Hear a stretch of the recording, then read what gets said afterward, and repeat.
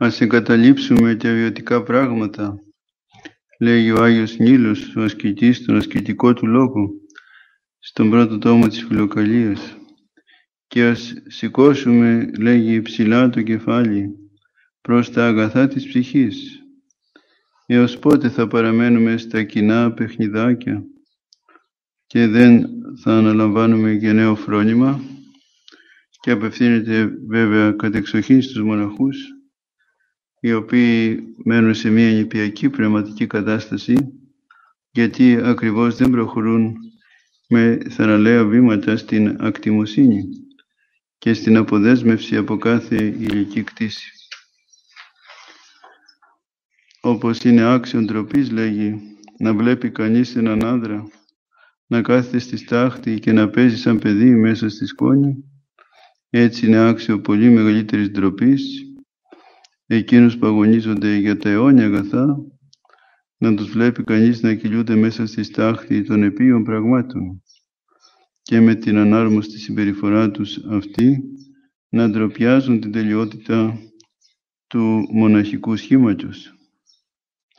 Κατακρίνει λοιπόν, καταδικάζει ο Άγιος Νίλος αυτή την προσκόλληση στα γήινα, στον λόγο του αυτό τον ασκητικό, που όπως ελέγχθη βρίσκεται στο πρώτο τόμο της Φιλοκαλίας και λέγει είναι ντροπή μάλιστα εμείς οι μοναχοί να μένουμε σε μια παιδική πνευματική κατάσταση και να θεωρούμε πολύτιμα αυτά που δεν είναι πολύτιμα όπως τα παιδιά που είναι σε μια ανοριμότητα θεωρούν πολύτιμα πράγματα ευτελή τα παιχνιδάκια τους με τα οποία παίζουν. Έτσι και ο άνθρωπος που δεν προχωρεί πνευματικά για τις αποβολής της προσκόλλησης σε κάθε το υγιεινό μοιάζει με ένα ανώριμο παιδάκι το οποίο θεωρεί πολύτιμα αυτά που είναι άξια καταφρονήσεως. Είναι άξιο ντροπής αυτό το φαινόμενο.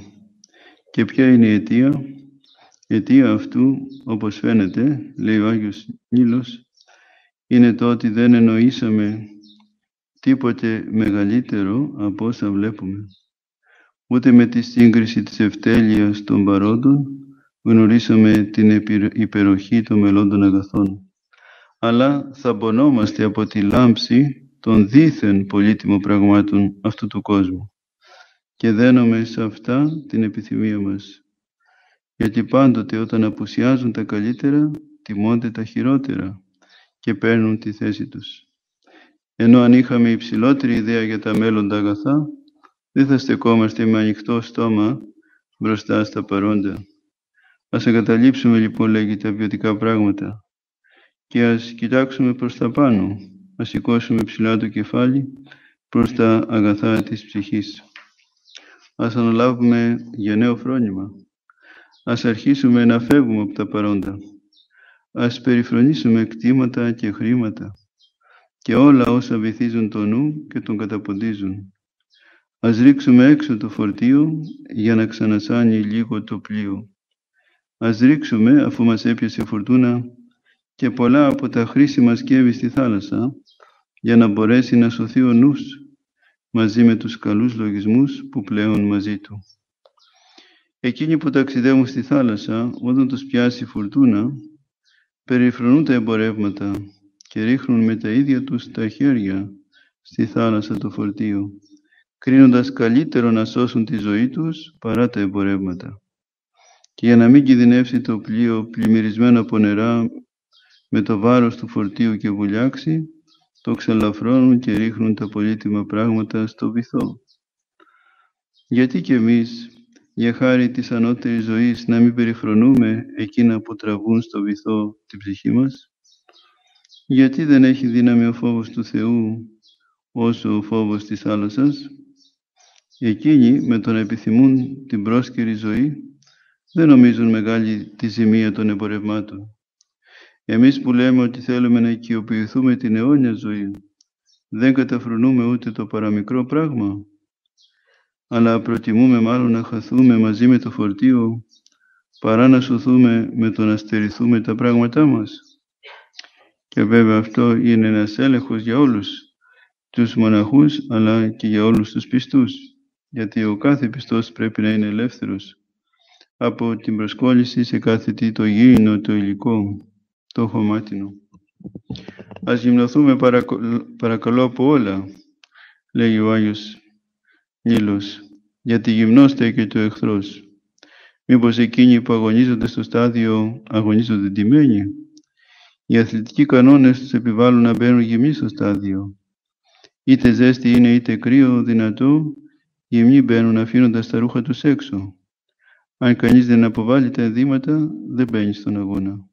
Και εμείς που υποσχεθήκαμε να πολεμούμε εναντίον εχθρών που είναι πολύ πιο επιδέξιοι από τους αισθητούς εχθρούς, γιατί έχουμε να κάνουμε, όπως υπονοεί με τους δαίμονες, όχι μόνο δεν αποβάλαμε τα ενδύματα, αλλά και με χίλια δυο φορτία πάνω στους ώμους μας επιχειρούμε να αγωνιστούμε.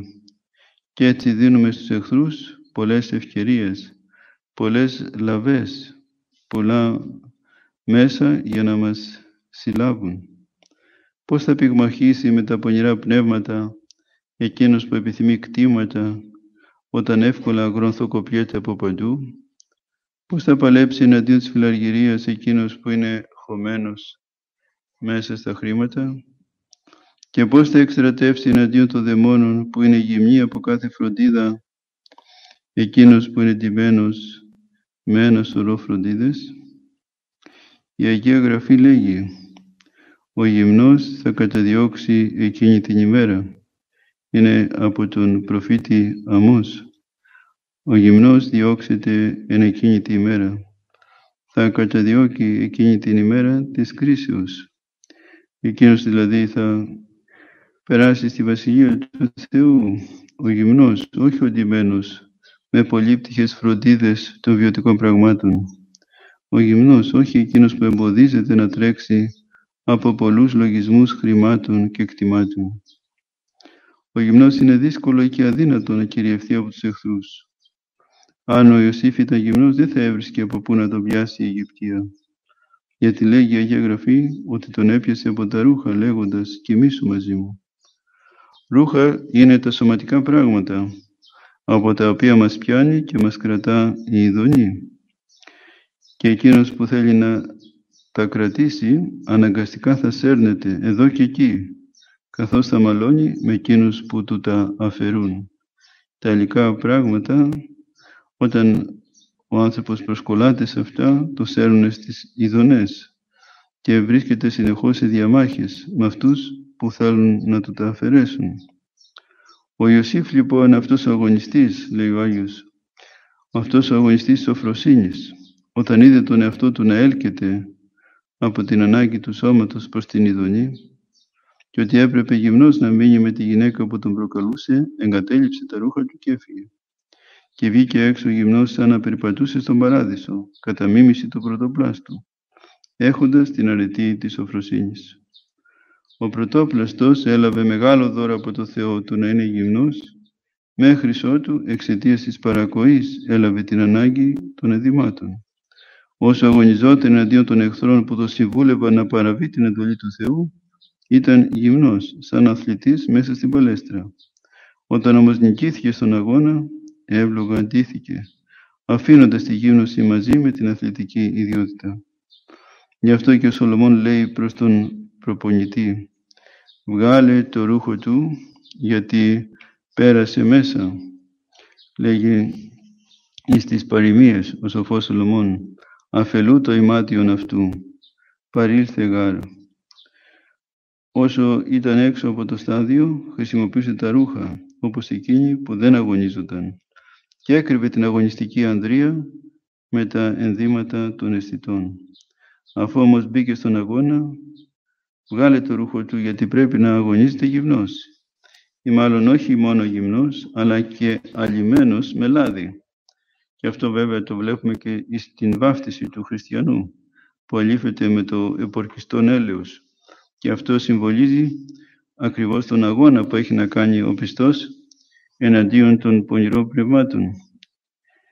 Με το να είναι γυμνός δεν μπορεί να τον πιάσει ο αντίπαλος. Το λάδι πάλι χρειάζεται, αν ποτέ πιαστεί, να γλιστρά και να ξεφεύγει. Γι' αυτό και εκείνοι που παλεύουν, λέει ο Άγιος Νίλος, προσπαθούν να ρίχνουν χώμα στους αντιπάλους, για να τους εξεδετουράσουν, εξοδετερώσουν τη λιότητα του λαδιού και να μπορούν να τους πιάνουν. Ό,τι είναι εκεί το χώμα, στο δικό μας αγώνα είναι τα γήινα πράγματα. Και ό,τι είναι εκεί το λάδι, εδώ είναι η αμεριμνία.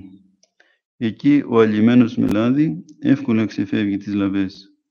Αν όμως του ρίξει ο αντίπαλος χώμα, όπως έκαναν στους αγώνας της πάλης στην αρχαιότητα, προσπαθούσαν να ρίξουν χώμα στον αντίπαλο για να μπορούν να το συλλαμβάνουν, γιατί ήσαν αλλημένοι με, με το λάδι.